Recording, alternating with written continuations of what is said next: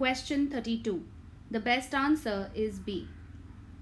Because it offers the plural possessive pronouns their in the sentence for the subject findings. Choices A, C and D are incorrect because the sentence here requires the plural possessive pronoun their and they provide pronouns that are often confused with the plural possessive pronoun their.